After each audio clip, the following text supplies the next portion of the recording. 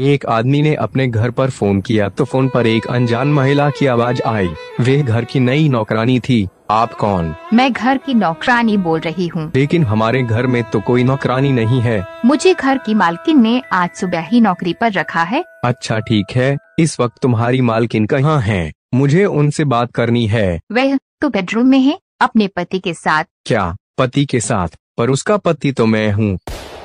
अच्छा तो सुनो क्या तुम पचास हज़ार रूपए कमाना चाहोगी? हाँ पर मुझे करना क्या होगा? तुम मेरी अलमारी से बंदूक निकालो और उस औरत और उसके साथ जो आदमी है उसे गोली से उड़ा दो।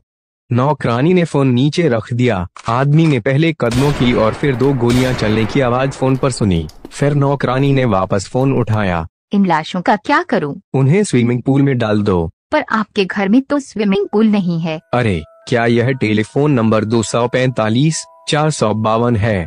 नहीं यह तो दो सौ पैतालीस चार सौ इक्यावन है। Oh sorry sorry wrong number